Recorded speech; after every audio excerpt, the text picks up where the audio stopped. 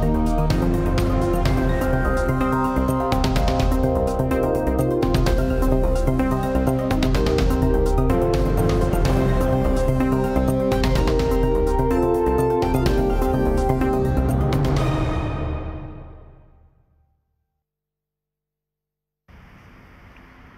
La Sindicatura Municipal de Greuges ha fet 457 actuacions durant els primers sis mesos de l'any.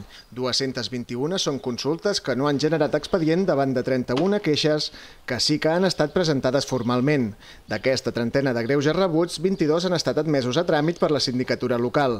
La resta, al no ser de la seva competència, han estat derivats al síndic de Catalunya, ja que tractaven de temes com la llei de la dependència o la renda mínima d'inserció. La majoria de greuges corresponen a multes de trànsit amb intervenció de la grua municipal. També n'hi ha que tenen a veure amb la ubicació de contenidors, soroll i la targeta de transport públic té blanca. Per districtes, el 5 i el 4 són els que més queixes han fet i el districte 2 el que menys.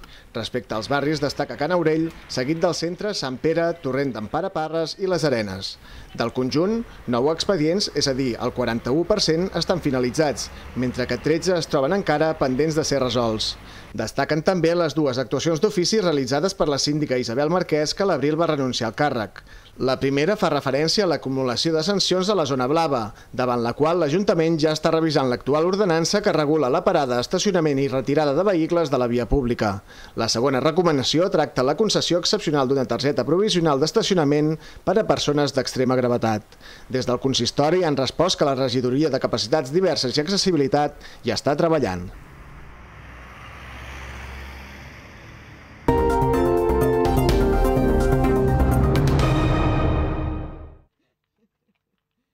El tinent d'alcalde i responsable de Territori i Sostenibilitat, Marc Armengol, ha visitat aquest cap de setmana els voluntaris forestals en les seves feines diàries de control i prevenció. La visita s'ha iniciat al carrer Cisterna, a la seu dels voluntaris forestals, i ha continuat a la caserna dels bombers de Terrassa. Després s'ha traslladat a una de les zones de vigilància que estableix l'agrupació de defensa forestal a l'urbanització de Can Gonteres, que permet una visibilitat molt bona de tot el territori. Posteriorment s'ha visitat la bassa situada a la masia de Can Font de Gaià. És una de les basses de què disposen els bombers per lluitar contra els incendis amb una capacitat per 210.000 metres cúbics d'aigua. Des de l'Ajuntament s'ha lluat la feina dels voluntaris forestals i s'ha destacat la bona relació entre totes les parts implicades perquè la vigilància funcioni. I al final això és una gran família de voluntaris a, a Terrassa, en aquesta agrupació en tenim aproximadament uns 200, que puguin actuar, eh, que tinguin carnet, eh, el coneixement per actuar, són aproximadament entre 40 i 50, i per tant, escolta'm, eh, estem encantats de que així sigui. Al final de la temporada sempre fem un superet en, en agraïment a, doncs, a tot aquest esforç, que és impagable. De fet, si haguéssim de, de pagar totes aquestes hores doncs no podríem. Durant la visita, els voluntaris forestals han fet algunes demandes al regidor per intentar millorar el servei que ofereixen. Demandes sempre n'hi ha, eh, millores a fer també, eh, estem visitant camins, estem vingut a visitar les basses, tot això doncs, té un manteniment, també s'ha de dir doncs, que a banda de la subvenció de l'Ajuntament hi ha les subvencions doncs, de la Generalitat i de la Diputació, però bé, coses a fer sempre n'hi ha. Els cotxes doncs, bueno, anem, anem renovant a la mesura la possible, el material, els voluntaris forestals disposen de dos punts de control de tot el territori, el que està situat al pi de Can Gonteres i el de Campo Alt. D'aquesta manera poden detectar les columnes de fum de possibles incendis i habitualment fer la primera intervenció contra el foc abans de l'arribada dels bombers. L'inici de la temporada de vigilància contra incendis va començar el passat 15 de juny i té previst acabar el proper 15 de setembre. No obstant això, depèn de la meteorologia i del risc d'incendis, es pot allargar algunes setmanes més. Aquests voluntaris són els que formen part de l'agrupació de defensa forestal Forestal de Terrassa conjuntament amb l'Ajuntament, els propietaris forestals i el Centre Excursionista de Terrassa.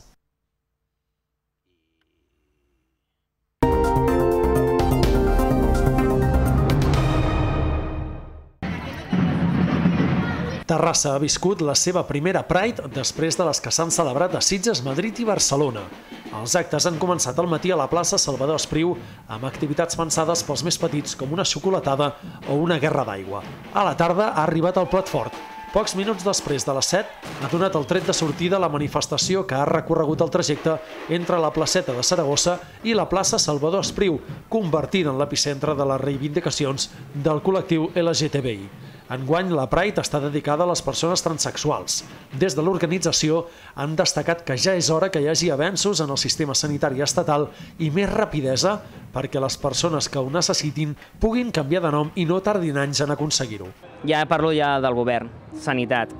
De, sobretot ara quan assisteu en el manifest, llegiré unes quantes coses que realment la, la sanitat, la llei, encara està allà difícil de, de dir és molt difícil canviar-te el nom quan ets una persona trans. Pot trigar-te anys. I és una vergonya en el segle XXI que, que encara passi això. El recorregut de la manifestació ha estat animat pel grup local Black Tocada, que no ha deixat de fer moure el públic amb la percussió durant tot el trajecte. Un cop a la plaça Salvador Espriu s'ha llegit el manifest on s'ha reclamat a totes les administracions més rapidesa per posar-se al dia. Els mitjans de comunicació també han rebut de qui se'ls ha demanat una visió respectuosa i inclusiva que acabi amb els estereotips creats per la ignorància i que condueixen a la transfòbia. Posteriorment ha intervingut la regidora de Polítiques de Gènere i LGTBIQ, Lluïsa Melgares. Un cop acabades les intervencions, s'ha donat per iniciada la festa amb les actuacions de Carla Salsa, Mina de Pop, Kenan G, Mateo Boca i Drac Satanassa. La festa reivindicativa s'ha donat per tancada a les 12 de la nit.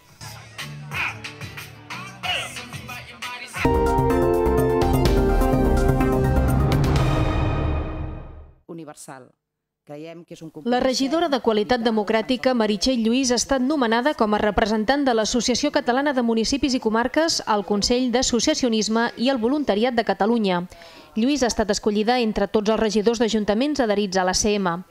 El Consell és un òrgan consultiu i d'assessorament del Govern de la Generalitat en matèries associatives i de voluntariat. Té l'objectiu de desenvolupar programes i projectes per aconseguir que el voluntariat i el món associatiu català augmentin el seu creixement i la seva consolidació. Es tracta d'un òrgan de composició mixta.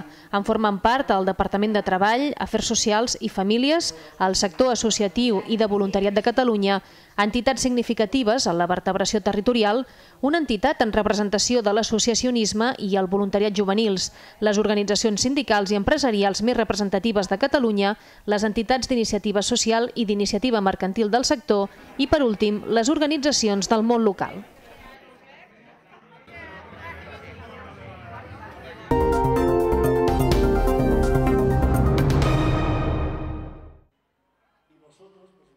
Les crítiques de Terrassa en Comú i Esquerra Republicana Moviment d'Esquerres a l'actual model de festa major han donat fruits. Les dues formacions han aconseguit el compromís de l'equip de govern per revisar els protocols de la festa, per actualitzar-la. Tot i que els dos partits van portar el tema al ple del mes de juny en forma de proposta de resolució per ser debatuda per totes les forces, finalment la van retirar a petició del govern per poder treballar-hi amb el màxim consens possible. Ara s'ha tancat un acord de Junta de Portaveus que també ha recolzat el Partit Popular, però que ha rebut l'abstenció de Ciutadans i la CUP. El document consensuat per bona part dels partits concreta que serà la Comissió de Cultura Popular la que iniciï el procediment i s'encarregui de designar la composició d'un grup de treball específic. El ple haurà de ratificar aquest primer pas. Posteriorment es crearà una taula de treball que revisarà els protocols de la Festa Major de Terrassa per adaptar-los a l'actualitat.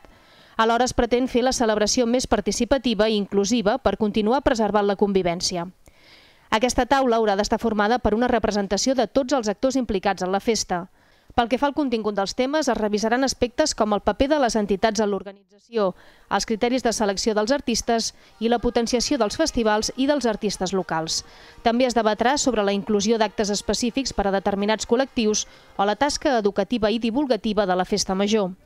L'acord també proposa demanar a la Regidoria de Cultura que posi a disposició d'aquesta comissió i del grup de treball el personal tècnic necessari per afrontar les tasques d'ordre administratiu i tècnic.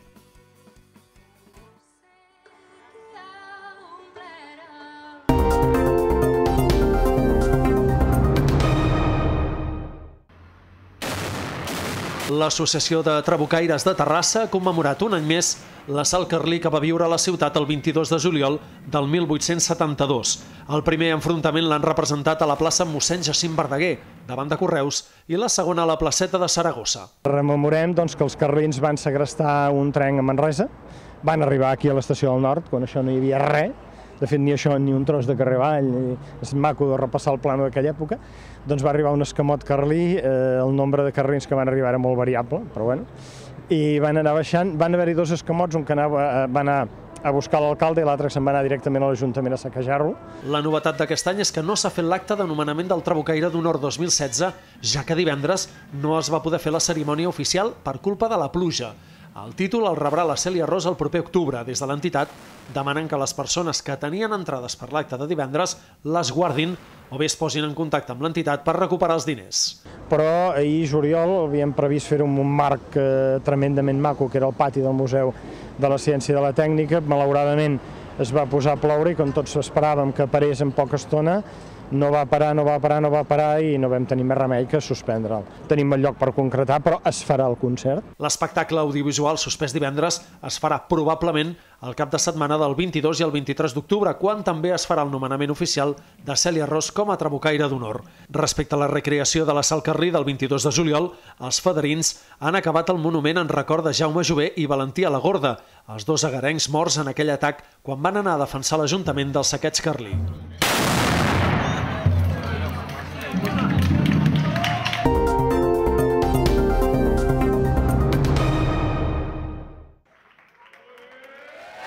Natació Terrassa és el nou campió d'Espanya juvenil de waterpolo després d'imposar-se amb claredat a la final per 6 a 13 contra el Real Canoe.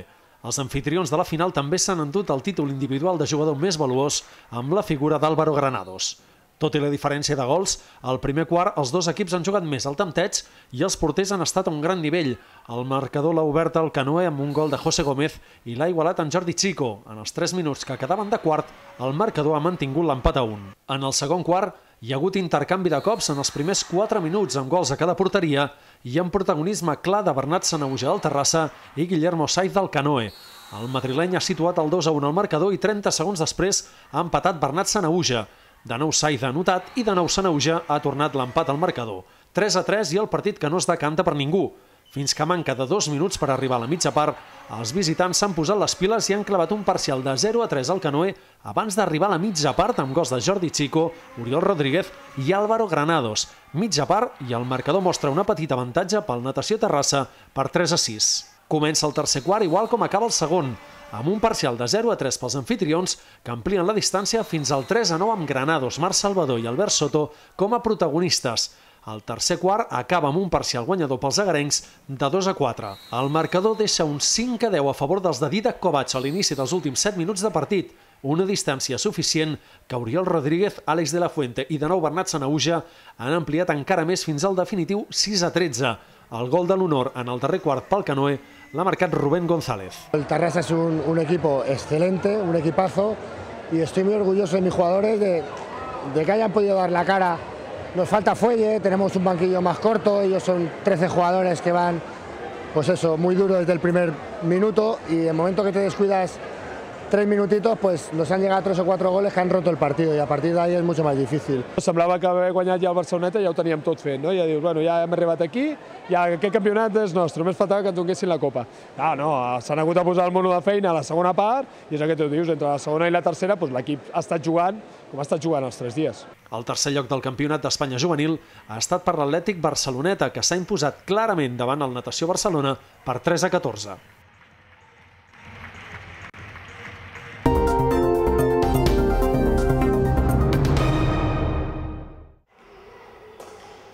L'Associació de Badminton Terrassa ha celebrat aquest divendres una jornada d'exhibició i de portes obertes amb l'objectiu de donar a conèixer l'esport a la ciutat i fer créixer l'entitat. L'acte també ha servit per tancar la temporada i tractar de captar nous adeptes per després de l'estiu. Tot i que el bàdminton és un esport de tradició oriental, la seva pràctica està en constant creixement entre alguns països europeus. Aquesta afició s'ha vist incrementada a Espanya després dels dos campionats mundials guanyats recentment i de manera consecutiva per l'andalusa Carolina Marín. El bàdminton aquí és poc conegut. Eh, érem uns quants amics que vam decidir realment tirar endavant aquest projecte. Van decidir uns quants iniciar-lo com a associació aquesta associació va néixer fa gairebé els 8 anys i des de llavors hem anat, hem anat sent una mica inconstants no? en quant a influència de la gent. El club compta actualment amb una cinquantena de jugadors, d'entre els quals destaquen noms com el del veterà Erling Wittstein, que amb 72 anys ha guanyat el Campionat d'Espanya de la seva categoria, el seu fill Christian, campió estatal de veterans en dobles, Joachim Jakovic, guanyador del circuit català, o el jove David Isla, sotscampió de Catalunya de bàdminton escolar. Però deixant de banda la vessant competitiva, aquest esport compta també amb molts aficionats amateurs, que treuen profit de numerosos beneficis socials i saludables. Estem encantats perquè realment aquest esport és una que pot anar des de les nenes petites que ha allà al fons, com a la gent gran, com jugar tant dones i homes juntament, és a dir, fer equip. Va molt bé per treure l'estrès, va molt bé per mantenir-se en forma i és un esport que inclús tenint, anava a dir, no sent gras, sinó tenint una forma física que a priori sembla que no sigui la més correcta o ser un atleta, pots aconseguir un molt bon resultat. Des del club fan una crida a terrassencs de totes les edats, convidant-los a que s'acostin al pavelló de Sant Llorenç a fer un tastet d'un esport que és olímpic des dels Jocs de Barcelona 92.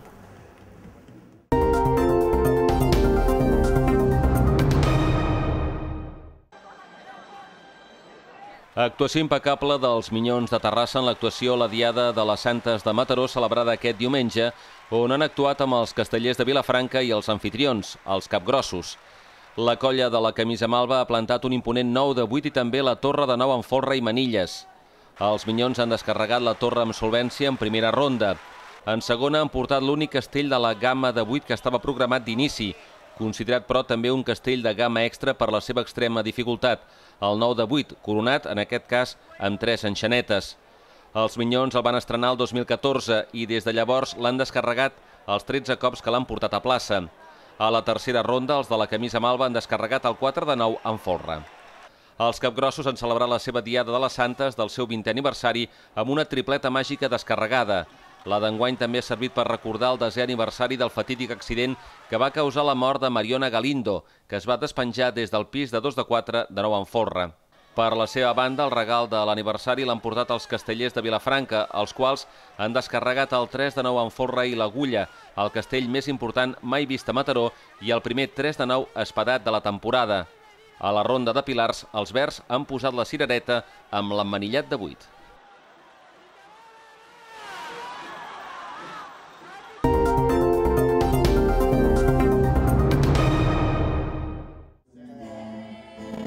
Festa de cluenda dels cursos de formació musical dels Bucs de la Casa Bauman.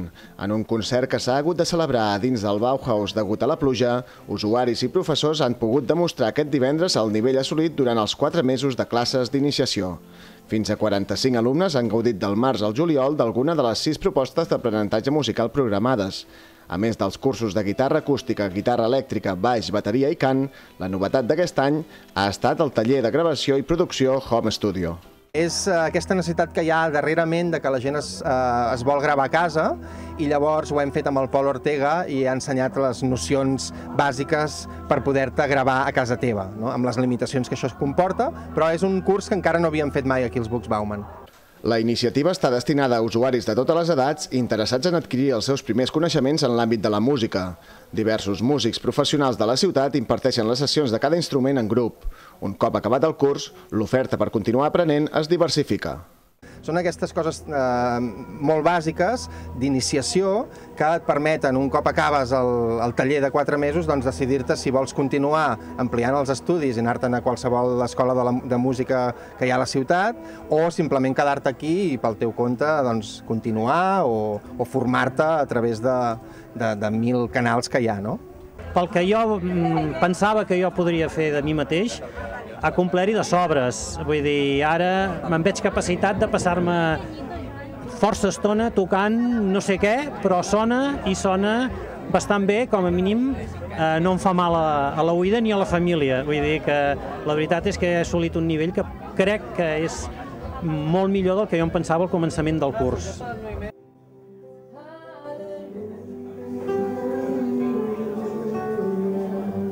Situats als baixos de la Casa Bauman, els bucs actuen com a espais d'assaig equipats amb amplificadors, bateries i equips de veu. Des de la seva creació, ja fa 15 anys, aquests locals han acollit els tallers de formació musical de forma ininterrompuda.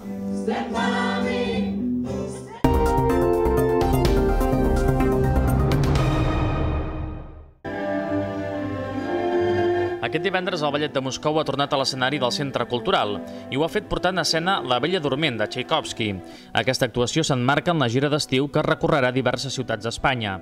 Aquest clàssic és una de les grans partitures per ballet del compositor rus, juntament amb el Llac dels Signes i el Trencanous. La companyia, una de les més reconegudes per la crítica internacional, ha ofert aquest espectacle basat en el llibre de Charles Perrault, un dels contes de fades més coneguts de tots els temps. L'obra, dirigida per Timur Faiziev i amb els solistes Cristina Terentiev i Alexei Terentiev, es tracta d'una versió original íntegra amb coreografia de Marius Petipa ambientada al 1890. No és el primer cop que aquest elenc rus visita Terrassa. El juliol de l'any passat va representar el llac dels Signes per celebrar el seu 25 aniversari. La Ballet de Moscou té un extens repertori on destaquen títols com El llac dels Signes, Trencanous, La vella dorment, El somni d'una nit d'estiu. El va fundar el coreògraf i ballarí rus Timur Faiziev el 1989. La companyia està formada per alguns dels ballarins i coreògrafs russos més destacats. Amb més d'un miler de representacions i més de 60 gires per tot el món, fan que sigui un dels ballets amb més prestigi a nivell internacional.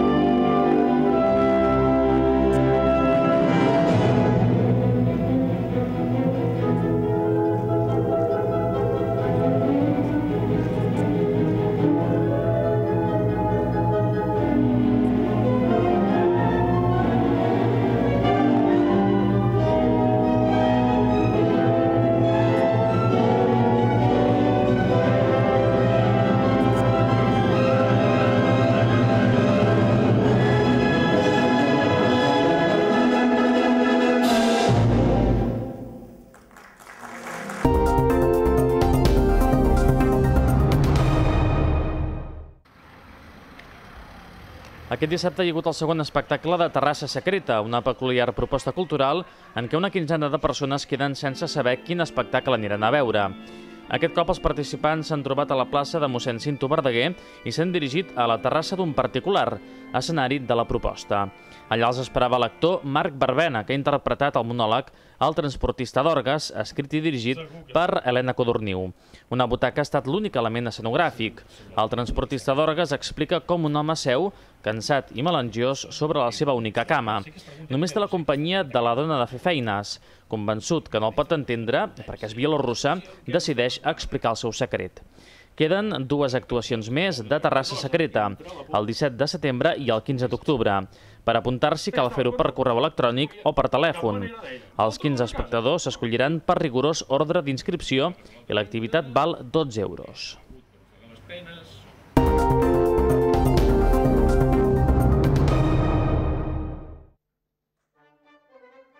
Coincidint amb la commemoració la setmana passada dels 80 anys de l'inici de la Guerra Civil Espanyola, l'Associació per a la Divulgació, l'Ensenyament i la Promoció de la Música Catalana ha recuperat l'obra de teatre líric català Tempesta Esveïda, amb música original de Joaquim Serra i amb llibret de Carme Montoriol.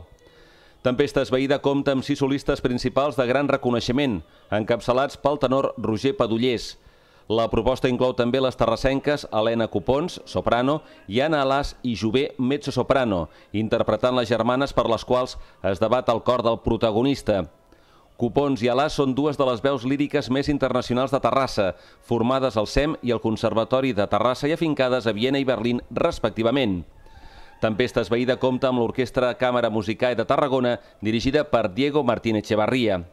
La peça es va estrenar el novembre de 1936, ja esclatada la guerra, al Teatre Nou de Barcelona, amb gran èxit de crítica i públic i no ha estat interpretada de nou fins ara. Aquesta comèdia lírica, articulada en tres actes, ens acosta la vida marinera de l'època d'un poble del litoral català. La versió que s'ha pogut veure aquest divendres al Teatre Fortuny de Reus és una versió concert però semi-escenificada. La proposta artística també ha tingut la col·laboració de l'editorial gironina FICTA, l'Orquestra Càmera Musical de Tarragona i el Departament de Cultura de la Generalitat de Catalunya.